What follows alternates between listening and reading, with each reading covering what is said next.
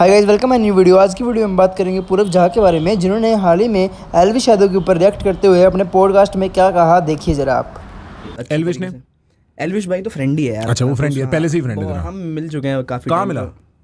भाई आज से चार साल पहले भी एक एलपीयू वाले हम लोग फेस्ट में मिले थे। हम्म। उसके बाद अभी रिसेंटली उनका जब बिग बॉस से जीत के आए थे मीट एंड ग्रीट वगैरह हुआ था तब भी हमने तब हमने पूरा सपोर्ट वपोर्ट भी किया था सब कुछ। अच्छा। तो मतलब हाँ अपना है अपना वो क्लियर है। ऑडियंस बीच में थोड़ा उनको लगता है कि हाँ ये धोखा दे रहा है एलविश भाई को ये ये सांप है ये लड़का। अरे भाई यार हमारी अंडरस्टैंडिंग है तू तुम क्यों टेंशन लेते हो भाई? राइट तो वही राइट है लोग नहीं समझते भाई। एल्विश यादव जनरली पब्लिक में ना बहुत ऐसा एक्सट्रीम कैरेक्टर है।